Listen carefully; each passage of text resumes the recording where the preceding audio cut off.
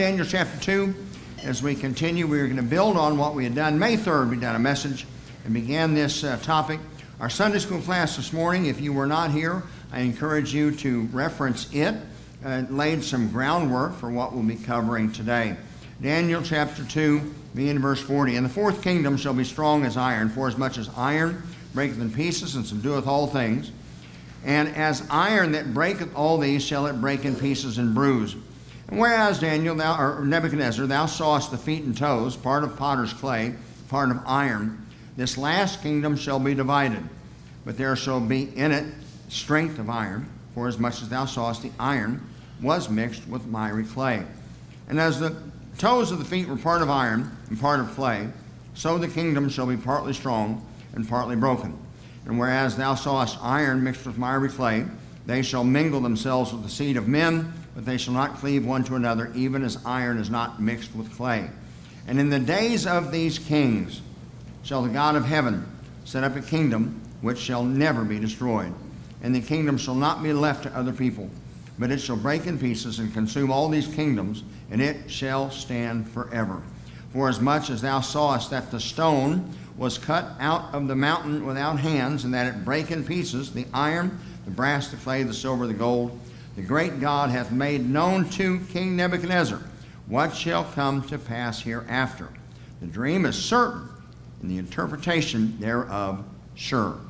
May the Lord add his blessing to the reading of the Word of God. We are continuing to focus on this last global government, the rise of global government. After the flood, Noah commanded Noah and his son, or God commanded Noah and his sons, their wives, to fill the earth but man didn't. Instead, within only two generations, there was this first attempt at global government with the intent of rebelling against God. Now, again, Yahweh had told them to fill the earth to glorify Him. Instead, man sought to consolidate power and to make a name for himself. And of course, the name Nimrod is means to rebel. Well, Lord Acton, famous British politician once said, Power corrupts, and absolute power corrupts absolutely. God has always recognized the sin nature within man, and as such, God has established levels of government to check man's desire to sin. It begins with self government. Folks, that's one of the fundamental breakdowns of our country today. We used to discipline our children with love. In fact, discipline was a sign of love. We used to teach them absolute truths and right and wrong, and that is the primary area of defense. Us having the capability of making the right decision. As a matter of fact, that's why in our early days you had to be a professor of faith in Christ or you could not serve in public office. And the main reason was is that when you are alone, you recognize that you're not really alone because the eyes of the Lord are everywhere observing the evil and the good. Discipline, accountability, self government. Quite frankly, you know, when you consider, I was thinking just the other day, as many times have I studied it and taught it and getting ready to teach it again uh, this Wednesday night. So please be back. We are back for Wednesday nights now. So uh, be back here and join us. 6:30 for youth, 6:45 for the adults. But you know, the law makes sense. Moses went up and down Mount Sinai several times, and the law, capital L, was basically the Constitution for this new nation of Israel. And it's comprised of three sections the law, which is God's morality, absolute truth, the Ten Commandments. Folks, those, that's self government. When Jesus said uh, the law, what's the most significant, or most important law? He said, uh, Love the Lord your God with all your heart, mind, body, soul, and strength, and love your neighbor as yourself. That's what the Ten Commandments rest on. The first four commandments deal with man's relationship to God, the last six deal with man's relationship to man. But the Ten Commandments are the foundational.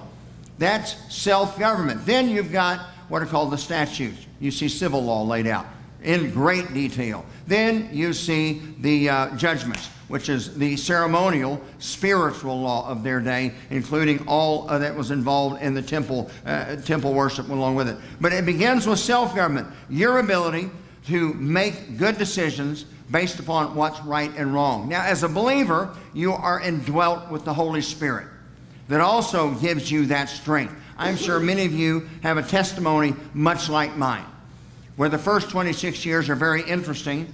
The last 31 years have been very consistent. There was something significant that happened in year 26.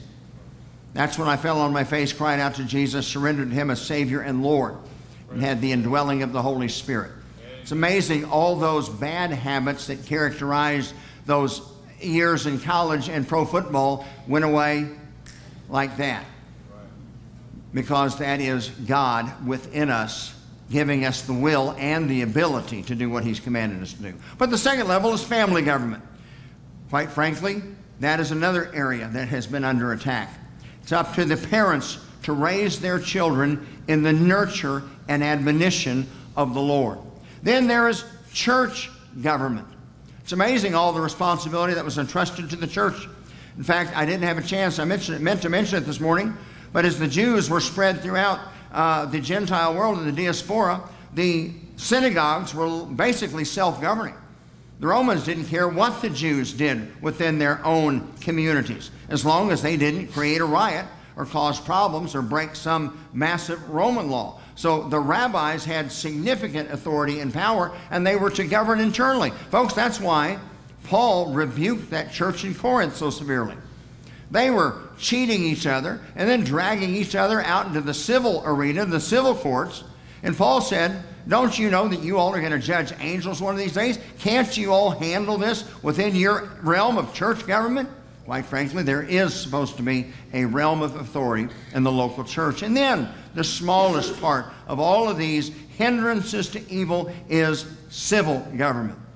Now, as many times as I've studied about the Tower of Babel, I had never really gotten an adequate answer as to why God established the nations.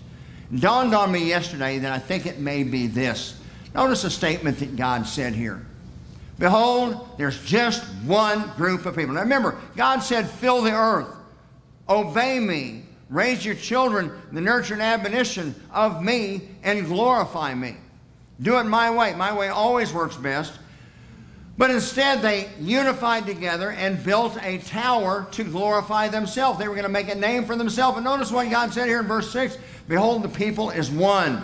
They will have one language, and this they will begin to do, and now nothing will be restrained from them which they have imagined to do. Let me give you an example of the significance and importance of nations. Back in the 1930s, there was an evil, wicked man that sought to bring Germany to prominence, sought to conquer the world and issue or, or usher in the Third Reich. One of his passions was to destroy, to annihilate the Jewish people. Quite frankly, he was not the Antichrist, but he is a type of the Antichrist. Well, how was he checked?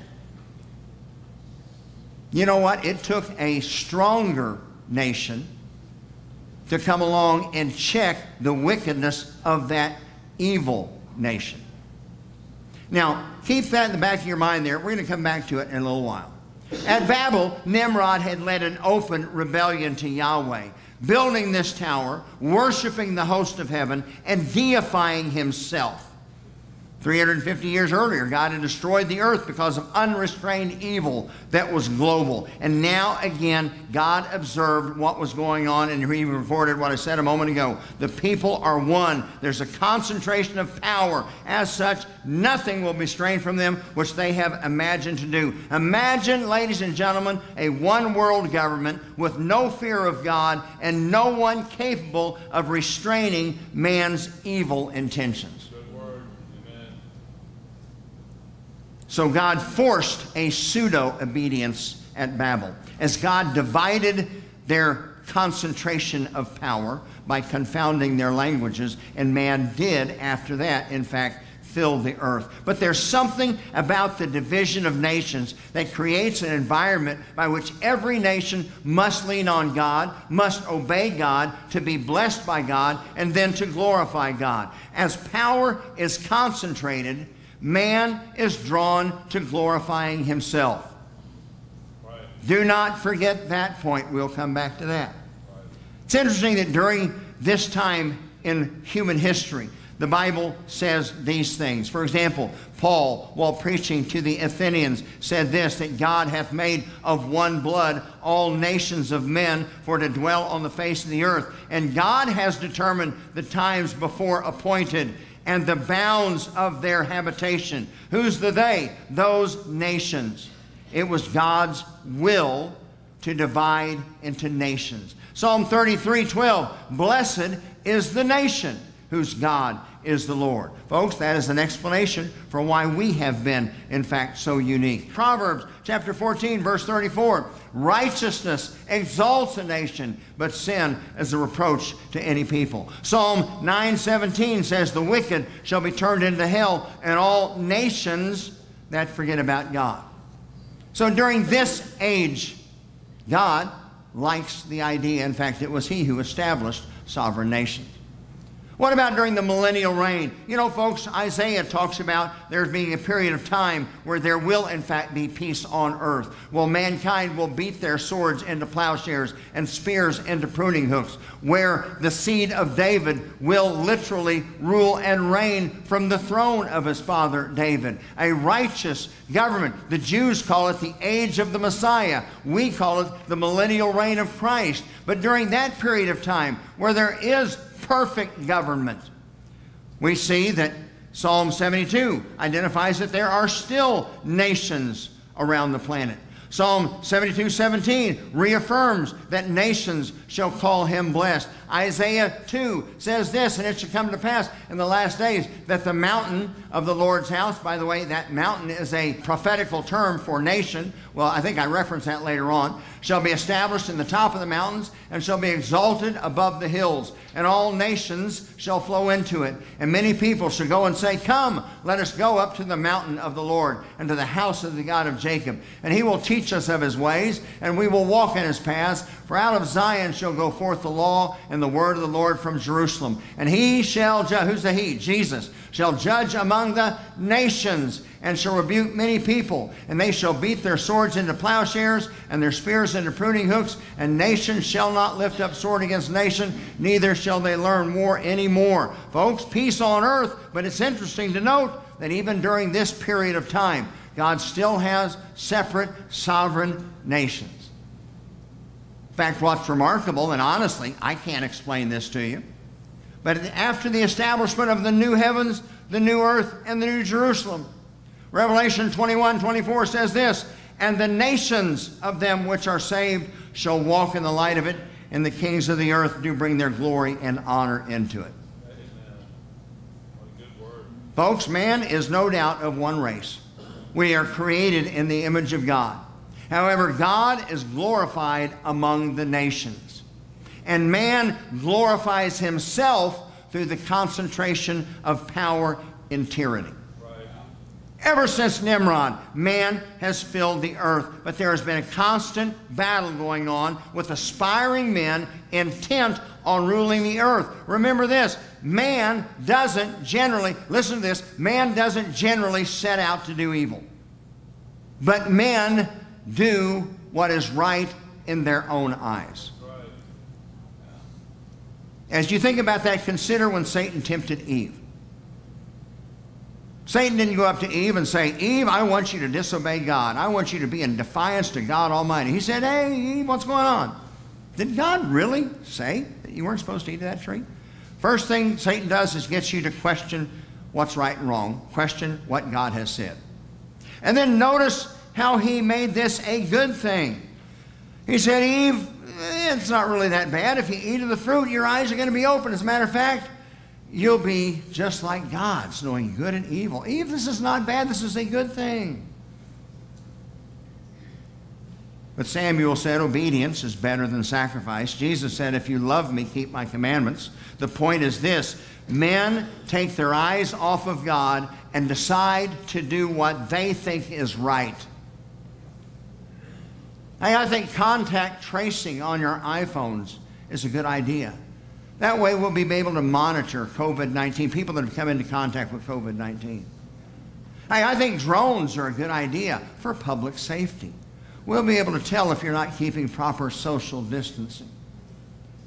Hey, we believe that sustainable development is good for planet Earth. We need to have a targeted population. We need to have certain population centers and certain rules and requirements. Oh, these are good. Global tracking, it's for your good. Global identification and a health ID. Folks, I'm not kidding. One of the most recent calls I was on, they are actually talking about licensing churches in some of these Democrat run cities. Democrat run cities before they are going to let them meet again. Wow.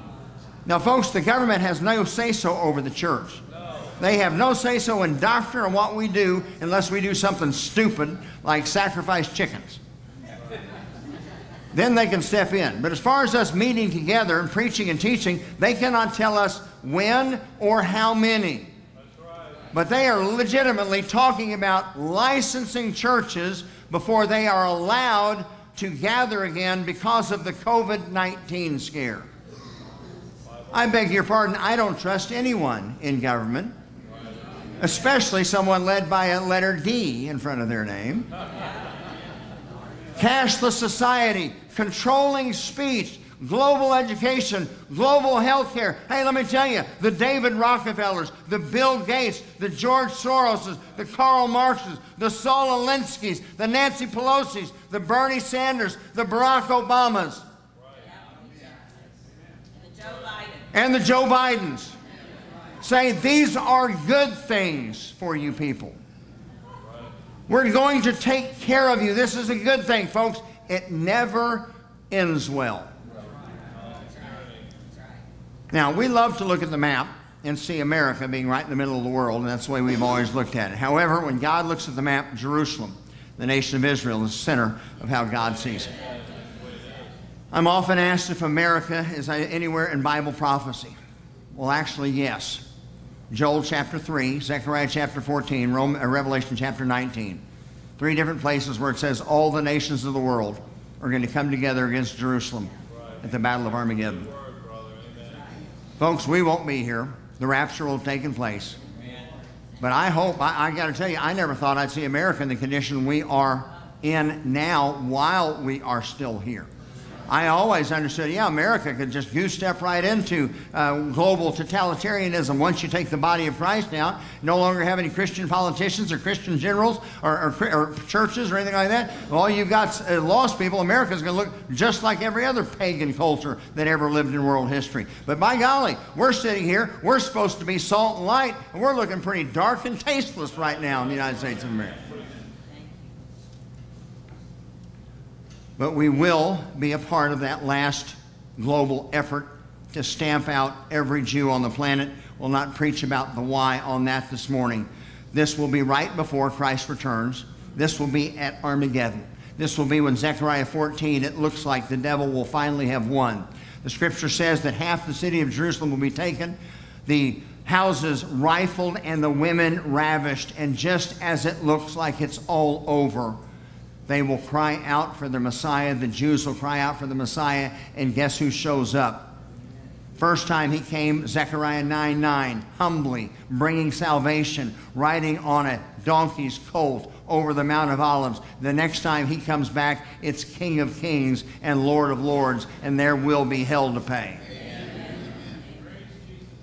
But as we saw in Sunday school this morning and in past weeks, God will again focus on Israel once the bride of Christ is removed. And Daniel 9 talks about this in great detail. Revelation chapter 6 through 19 expands on that. There are still seven years of judgment to be poured out on planet Earth, which will bring to a conclusion all of what we call Bible prophecy. It will fulfill all of God's promises to Abraham, Isaac, and Jacob and David. And during these final seven years, Daniel tells us of this last global empire ruled by 10 Malek kings this is the last of Nebuchadnezzar's dream. Let's just review that real quickly to remember. Remember, the next thing on the Jewish timeline, they are looking for this king, the Messiah. Unto us a child is born, unto us a son is given, and the government shall be upon his shoulder. Uh, his name shall be called Wonderful Counselor, the Mighty God, the Everlasting Father, the Prince of Peace.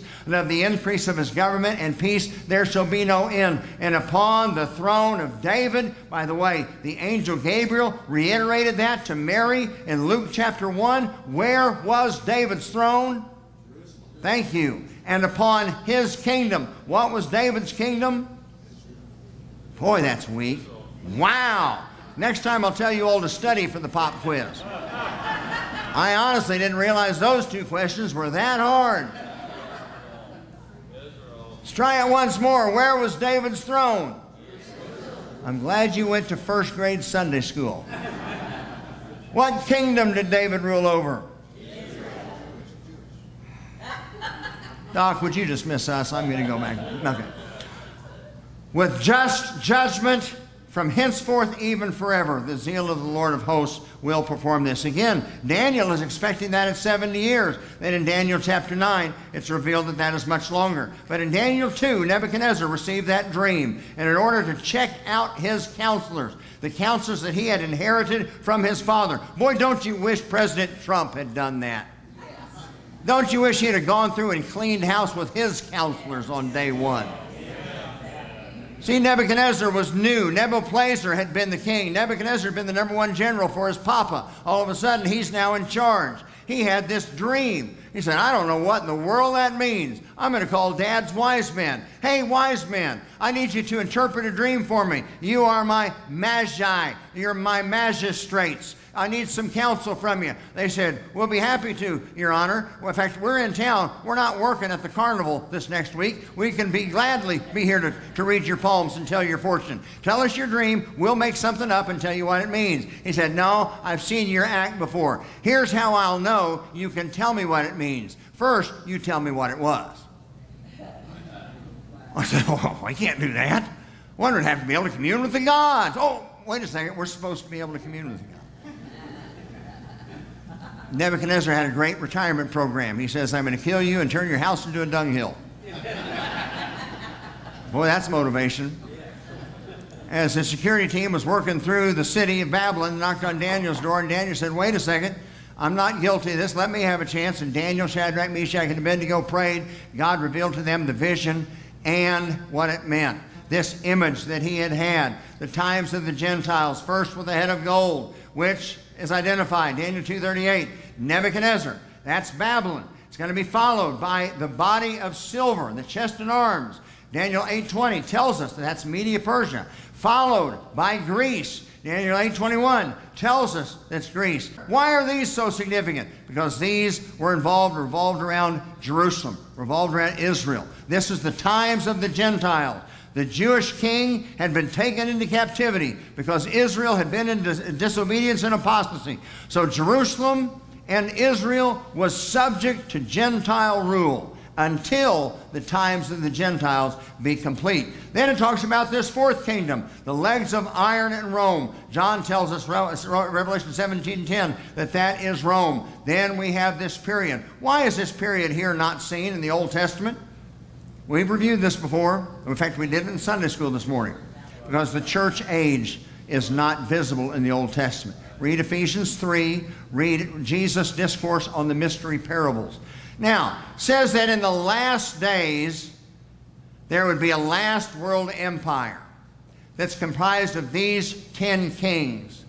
And as I read this morning, it said, In the days of these kings shall the God of heaven set up a kingdom which shall never be destroyed and the kingdom shall not be left to other people. In other words, not from Babylon to, to, to Media Persia, to Greece, to Rome. This time it's King Jesus, and it's going to be King Jesus from that point on and forever.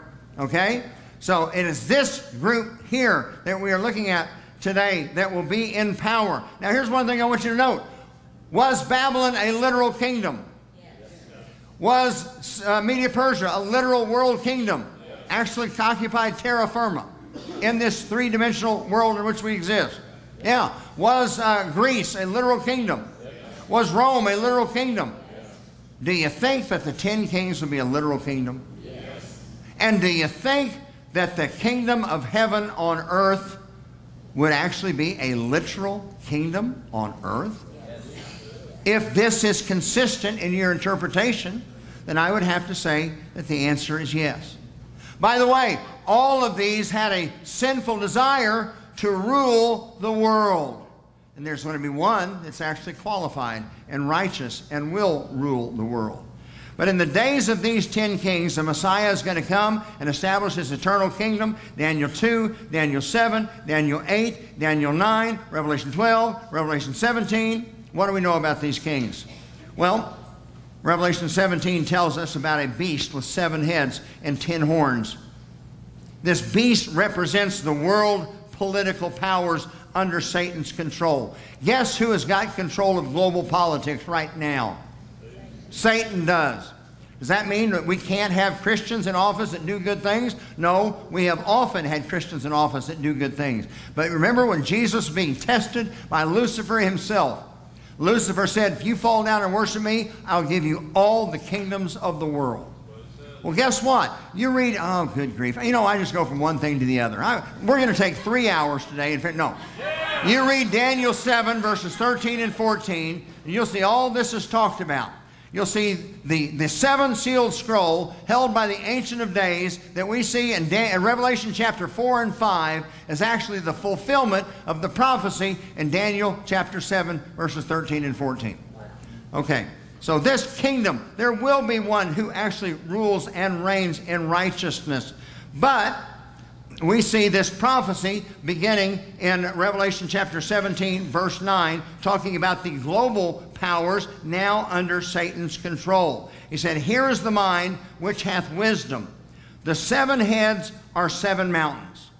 Now, again, in Bible prophecy, a mountain is a nation. Look at Daniel chapter 2. It's the image of a great mountain to fill the whole earth. What was that? That was the kingdom of heaven on earth. Isaiah 2 2. In last days, that mountain of the Lord's house shall be established. Top of this mountain shall he be exalted above all the hills, and nations shall flow into it. So a mountain is a picture of a nation. Verse chapter 10 adds that there are seven kings. King and kingdom are often synonymous. As Daniel told Nebuchadnezzar, uh, Nebuchadnezzar, you are that head of gold. Well, Nebuchadnezzar was the emperor of Babylon and the Babylonian Empire. Okay? So we've got these seven kings or kingdoms. Which seven kingdoms are these? Remember, Israel is God's chosen nation, and Jerusalem was the capital city. With that consideration, this would refer to Gentile powers that affected Israel. Israel was in effect born when Jacob and the 70 family members moved into Egypt during the time of Joseph. So we begin with Egypt, followed by Assyria, followed by Babylon, followed by Media Persia, followed by Greece, followed by Rome. Remember, the Messiah came and Zechariah 9 9 was rejected, but there was no justification for Israel to reject her promised king, just wickedness and disobedience. So we see this period of the church age. Right now, Paul talked about the mystery of the church in the book of Ephesians. Both Jew and Gentile, whosoever shall call upon the name of the Lord shall be saved. Then the church will be taken out. That last seven years will be dealt with during the seventh king, which is this period of ten kings. Ten kings. Revelation goes on says, Five are fallen Egypt, Assyria, Babylon, Media, Persia, Greece. One is, as John is writing, that being Rome, and one is yet to come, that being this last age of global government. Now, again, you remember, talked about this for the first time. Don't have time to go back and repeat everything. If you want to find it, go back to our sermon we did on May 3rd, where we began this journey. I pointed out that week that the word used here is Malek, king, not Mamlaka, kingdom. There's a difference. Sometimes the words are interchangeable, but I personally think this is intentional in Daniel chapter 2. We've had people try to, try to describe, hey, it's 10 regions or 10 countries, whatever. I personally think that these are 10 individuals attempting to rule the world. 10 Rothschilds or Rockefellers or Gates or Soros that will come together for power. Hey, why should that surprise us? Man has always tried to rule the world. Now, we're first introduced to these kings in Daniel chapter 2. We learn more in Daniel chapter 7. Daniel chapter 7, verse 8 says, I considered the horns. And there came up among them another little horn, before whom there were three of the first horns uprooted. And behold, in this horn there were eyes like the eyes of a man, and a mouth speaking great things. So we see an eleventh horn or king here, who was initially called the little horn. He was lesser to the ten. He has eyes and a mouth. He's the front man for the ten. He's their spokesperson. Verse 20 says that he'll become great after speaking great pompous words, and instead of being the lesser horn serving the ten, he becomes Rav, more stout. The Hebrew word that means captain or lord or master over. You all are familiar with the term rabbi. Rab, master, lord, teacher. I, my, my teacher. Okay? Rab. He becomes the leader of the ten. Now, apparently, this rise to power was not without resistance, as verse 8 and verse 24 identify three of the original ten kings that will be plucked up by their roots and subdued. Any of you that are students of World War II or history remember the assassination attempt on Adolf Hitler. I personally believe that there will be an assassination attempt on Mr. Big Shot. You've got the group of 10 behind the scenes that are trying to orchestrate control over the world. Man wants to do what's right in his eyes. Oh, trust me with the power. Oh, uh, you can trust me to have absolute control over, over everything. And the 10 put forward this front man. Don't think of him as coming out as an evil, wicked man. Think of him as a perfect politician that's everything to everybody and really stands for nothing. Scripture says that he's going to attack the very existence of God and the law of God, and he will seek to destroy the saints of the Most High. Now, by the way, as Daniel is writing that, how would you define saints of the Most High? Would you define that? No. As Daniel is writing that, who would you call saints? Jews. That's right. Seven years, that seven year period, you might want to be here. I won't be. Feel free to hang around if you like. I plan to be gone during that period of time. Now, as you read Daniel and Revelation specifically, there is a final seven year period within which God will finish his punishment and the purification of Israel. Remember, ladies and gentlemen, the 70 years was multiplied times seven and it was determined upon, remember, gavel being hit, 70 weeks are determined upon who, Daniel? Who's Daniel's people? And upon thy holy city. To wrap it all up, anoint the Messiah in the most holy place, and according to Daniel 2 and Daniel 7, and establish God's kingdom uh, here on the earth. Now, during this seven year period of time, says that these 10 will be given a brief period in which they have power. I personally see two wars left. By the way, I'm going to finish this. I've got more to do, but we're going to finish this in 11 minutes, so I'm just going to crash land right now. I see two wars left biblically. I see it Ezekiel 38 and 39, what we call the Battle of Gog and Magog. What's interesting about that is it's very specified combatants. It says they're going to come together. Five, six of this invading force is going to be destroyed miraculously on the hills of Israel. But it says that Jesus doesn't show up on the Mount of Olives in this battle. In fact, it says that the Jews will burn the weapons for seven years after this concludes and says it'll take some, what, six or seven months to clean up the land. And they'll have to bring in crews in order to do so. And it says that, that uh, after that period of time, there will be a call for peace. I think of World War I. After World War I, we had the advent of the League of Nations. After World War II, we had the advent of the United Nations. I see a coming battle and that it concludes there will be a call for peace and there will be the super politician that's going to bring it in. Of course, he's not going to be the lone man. There's going to be a group that's behind him that's really his power. I see the first call, peace, peace. I see disarmament, folks. Every time you see a socialist dictator go into power, it, it is without exception. First thing they want to do is disarm the people for your own safety. Oh, aren't these shootings terrible? Oh, oh, it's just, you know, we just need, all we need is the law enforcement with guns, and we just need to disarm everybody. And then the very next thing they do is they take out everybody that is in opposition to them.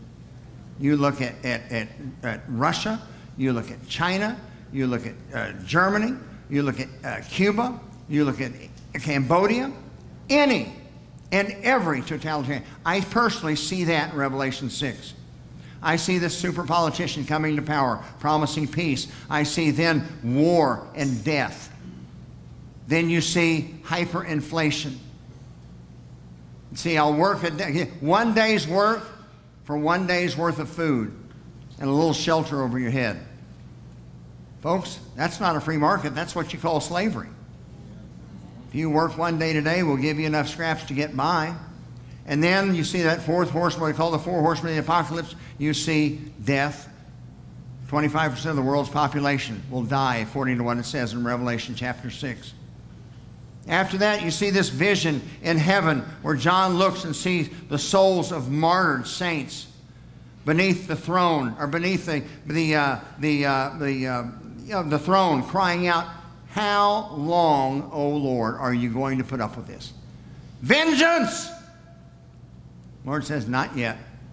But you see the lion of the tribe of Judah beginning to awake and shaking his mane as you see earthquakes, volcanoes, and natural disasters take place on planet Earth. And you see the kings of the earth trying to hide themselves from the face of the wrath of the Lamb of God. The book of Revelation details seven seals, details seven trumpets, details seven plagues. Like childbirth, over the course of seven years, each gets worse in intensity and more frequent in occurrence. Initially, natural, explain, explainable disasters like earthquakes. By the time you get to the end, folks, there's no explanation if you're a literalist, which I am. Say, Pastor, what do you mean by a literalist? Well, I literally believe that God divided the Red Sea and the Jews walked through it on dry land. I really am sucker enough to believe that. And I really believe that God turned the Nile River into blood. I don't think it just had a red hue or red tint or what. I think it was blood. And I really believe that three days and three nights after Jesus went into the tomb, the stone was rolled away and he had risen from the dead. I am that crazy as a literalist. I really believe that stuff. And in Revelation, it talks about not only natural events, it talks about supernatural events. Well, it talks about intense heat. It talks about intense darkness. It says that every nation, every sea on the planet will be turned into blood. And the rivers turned into blood. Now, folks, we, can, we may be able to survive maybe 40 days without food, but no man can survive more than a couple of days without water. I believe that when that wrath is poured out, it's going to be right at the very end. But in the middle of this thing, it's divided into two parts. Three and a half years at the midpoint talks about a war in heaven. Says that Satan is tossed out for the last time. Bible also talks about in Revelation chapter 13, one of these heads receiving a wound with a sword unto death. I personally lean to the idea that this super politician, Mr. Mr. Big Pants, Mr. Too Big for his britches, initially the front man, front man for the for the, I'm just saying, the George Soros, Rockefeller, Gates type of group, the 10 Malek kings. He's the front man doing their bidding. But he gets more and more power, he thinks more of himself, and then he becomes the boss. They don't like it. Try a rebel, assassination attempt, doesn't work. Three of them are done away with. And at that point, the Antichrist will be indwelt by Satan himself. And for the last three and a half years, things will increase. In fact, that is one of the most documented times anywhere in the Bible. Through Daniel, through Revelation, it says 42 months. 42 months. It says 1,260 days. It says a time. By the way, a Jewish time is a year from Passover to Passover. A time times and the dividing of a time. Three and a half years. Time and again talks about this last three and a half years, including what we've covered today, this last three and a half years. Things will continue to get so bad and continue to be so bad. And it talks about the earth dwellers continuing to curse God. There will be some that become followers because the gospel will be preached by 144,000 apostle Pauls and two crazy witnesses that are going to be preaching in the temple court. I wish I had their power says when adversaries showed up with them, they could just call down fire from heaven and take care of them. Come in handy at times.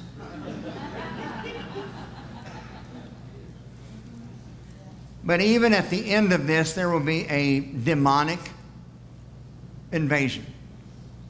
Talks about these creatures that can be described as nothing else but demonic. People try to describe them as military instruments. Things I do not. I think it's demons out of out of the, heart of the earth. I, I, think it's those demons that are held there right now that were guilty of, of the the vileness that took place leading up to the, the flood. And this demonic invasion will draw the nations of the world together against Jerusalem. One last hope that Satan has to win. Hosea 5 seems to indicate that the Lord will not return for Israel until they cry out, Blessed be the name of the Lord. In fact, Jesus even said that, You'll not see me again, when he left just before he gave the Olivet Discourse. He says, You'll not see me again until you cry out, Blessed be the name of the Lord. I think Satan still thinks he can win if he wipes out the Jews entirely. If the nation of Israel only served the purpose of birthing the Messiah, I don't know why Satan hates them so much still. I mean, time and time and time and time again trying to wipe them out, including you know, in, in Nazi Germany. And look at the world right now. Why does the world hate Israel? I mean, out of the entirety of the Middle East, they have a little bitty sliver of land. Everything around it's Muslim, but they hate Israel. Now, folks, if I am right, if I am right, if I'm wrong, then the world's just going to get better and better and better until the Messiah returns. If I'm right, the world is going to become more perilous.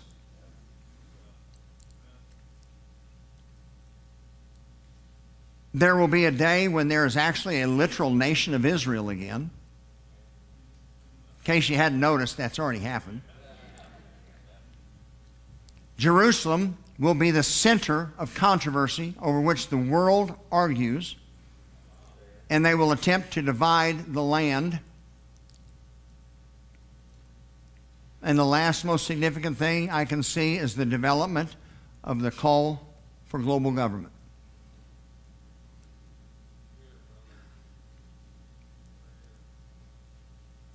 When I've seen what we've done over the last couple of weeks, I recognize that God was right when He calls us sheep.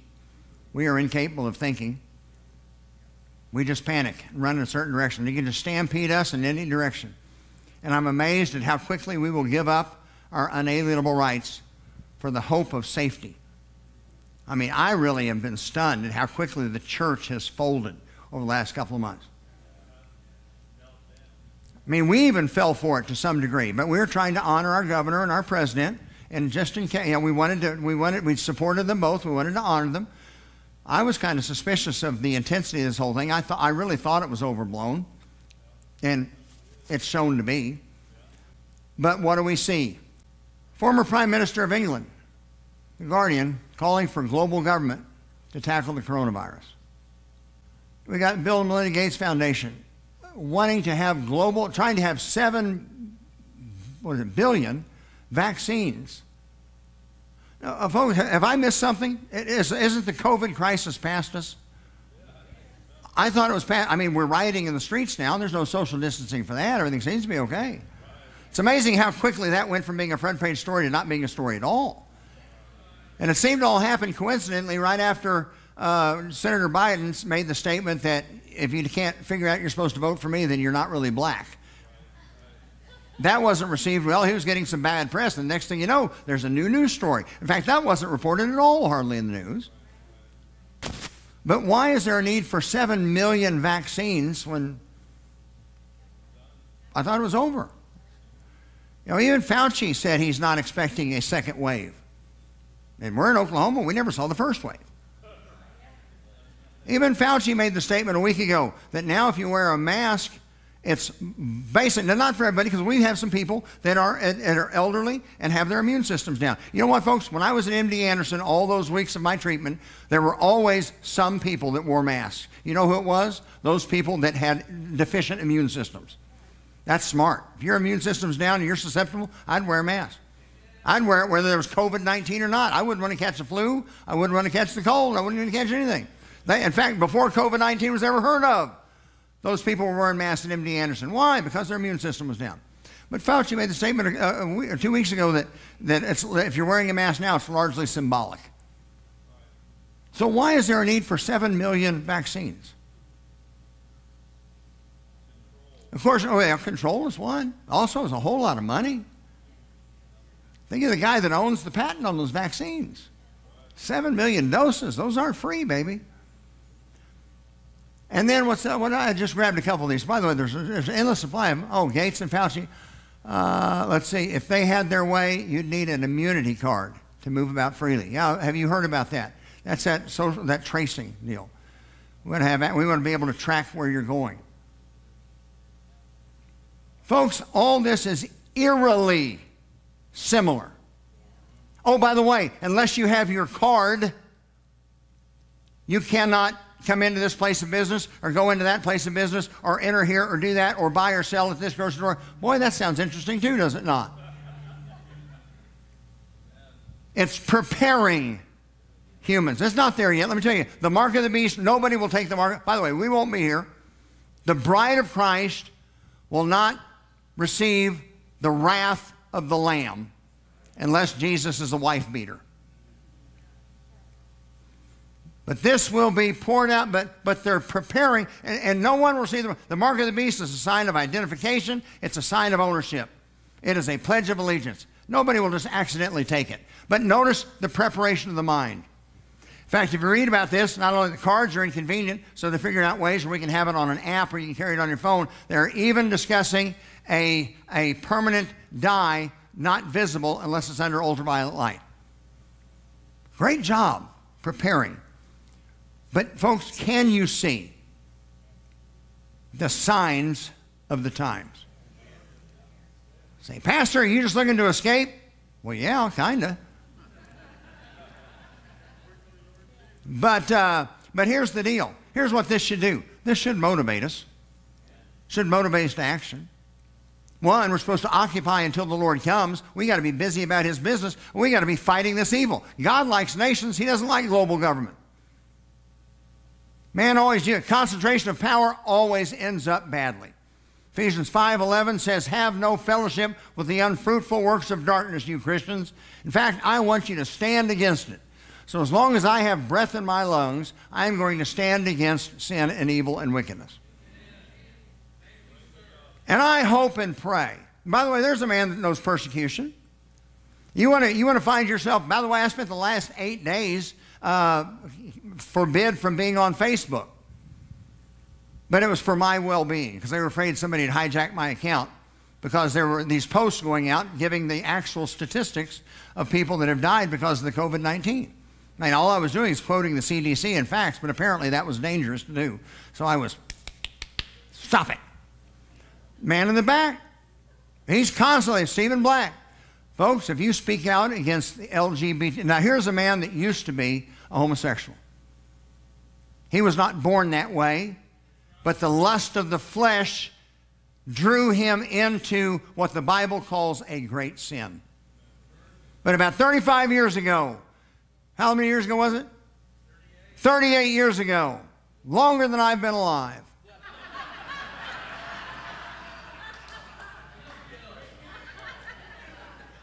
Stephen was born again and saved out of that lifestyle.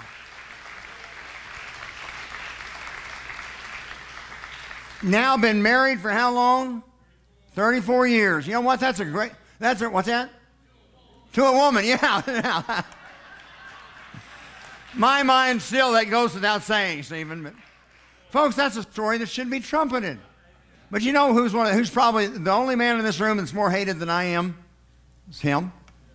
Laura, maybe, or where, where's she? I saw her earlier. I know she's here somewhere. Oh, there she is. She is. I promise you. There's this cup. What's that? Charlie. Well, oh, yeah, we don't. Well, we don't like Charlie, but. But you want to talk about suppression of speech? You want to talk about hatred? Boy, it's out there. Folks, these are exciting days. You know, there had to be that terminal generation. There had to be that generation of Christians that was alive, that was at work on the front lines, when all of a sudden, in the midst of the battle, the trumpet sounds and we're called home. Now, that doesn't mean that we're supposed to stop living. Quite the contrary. We're supposed to live life to the glory of God. Get married, have children, raise your families, work hard, go to college, plan a career, serve the Lord day by day, glorify God, occupy until He comes. But the reality is, folks, this should let us know when you see everything that's going on, it's getting late. You know what? In the game of football, if we were behind seven points and looked up at the clock and it was still the first quarter, I wasn't worried. We were down three points and it was halftime, I wasn't worried. If we were down three points, there was a minute to go in the game, there was a little more sense of urgency. You know what I mean? We ought to feel a sense of urgency. Whether that means the rapture is coming tonight or the rapture comes in 10 years or 20 years, I believe when you see things working, you see all this stuff, I don't believe is accident. I said this on May 3rd. I find it ironic that every American president we have had since, since Eisenhower, I take that back. I think Kennedy was probably a pretty good president. I wouldn't have voted for him because I was a Republican, but I think he was taken out because he didn't play the game. I think he's pretty good in a lot of ways. But you got every one of these other presidents, from George H.W. Bush, who I voted for being a Republican, and he was a loser. But he was a less of a loser than the guy he was running against. But, uh, but he called for uh, what? A New World Order. Then you had Bill Clinton, huge proponents of the New World Order. Then you had W. Again, daddy's son. Good guy, good old boy. I liked him in a lot of ways, but New World Order, globalist. Then you had Barack Obama. Folks, his dad was a communist. That's not a rumor. His dad was a card carrying communist. His mentor, Frank Marshall Davis, was a communist. I, I, I, I don't dislike the guy, I don't like his politics. I'm a free market um, capitalist. I believe in freedom. His upbringing is not that way. But he really advanced. In fact, did a, apologize for how terrible America is. And don't you know, all America is is we've stolen everything that we have, and it's not really ours, and it's just, you know, we're. But all of a sudden, in the midst of all this, call for integrating America into globalism, 2016, we had a goofball run for president. I was a Ted Cruz guy. I thought, who in the world? He will never get elected. I wouldn't vote for Trump if he's the only one on the map. And Then I started looking at what he stood for. It's like, well, I like that. I like free. I like that. And you know what? He gets into office, he has done more for us. He spoke at the March for Life. Not one president is there. He has been the most pro life president we have ever had. We have got a, the Republican controlled Congress would not repeal the Johnson Amendment. So he issued an executive order, said, hey, you pastors, you're not going to be uh, harassed while I'm president. Boy, that's good. Of course, I did it. I did it anyway. But it sure is nice to know that they're not going to come after me at least for another six months. You know, every president has said, we ought to have our embassy in Jerusalem. And then once they're elected, for some reason, that's too hard to do. President Trump just said, why is this hard? Here, here's a, move it. Wow, that was easy. And I got to tell you, you what? Economics doesn't see skin color. Economics sees effort and hard work. And you know what? If you don't have a, ch- if you if you finish high school, you, you stay married, and you don't have a child before you get married, and you get a job, you got a pretty good chance of turning out well in life. But if you go through multiple divorces and you start punching out kids when you're 15 and you don't finish high school, chances are you're not going to do very well in life. And guess what? It's nobody's fault but yours.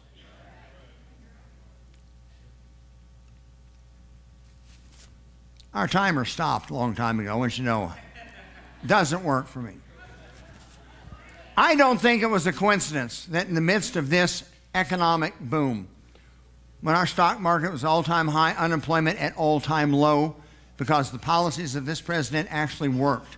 He's not a central planner to where the government has to control everything. Now, he's still not perfect. There are things he can do better, a lot of things he can do better, but the freedom allows people to prosper.